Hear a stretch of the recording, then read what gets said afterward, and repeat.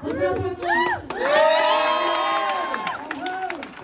Um, I just want to say that from the moment, it, I want to give a shout out to my husband because he's the person that introduced me um, to these fine people. And we went to dinner, and I was very quiet at the dinner, and they looked worried. And, and on the way home, I cried. And I said, I wish they were around when I was a kid. A kid from Brooklyn who grew up in abject poverty, who didn't even think about owning an animal, didn't even think about having a pet because of the cost involved. And so it just touched my heart in a very, very deep way.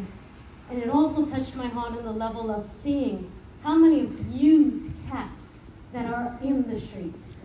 People are so cruel.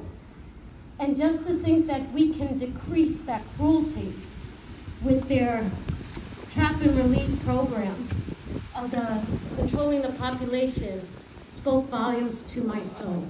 And I want to thank you for that because we talk about people and their pets, but we also need to talk about the ones that don't have a family to go to. And I relate to that strongly. And I also want to give a shout out to the city. My heart was overwhelmed when I saw Jumaane getting out of the car. Jumaane Williams, can I give you a shout out? Public advocate. Yes. Look who's home.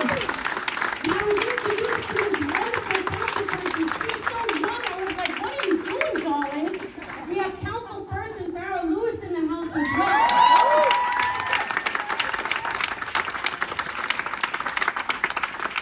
And also, we have council person Justin Brannan, who is an animal activist.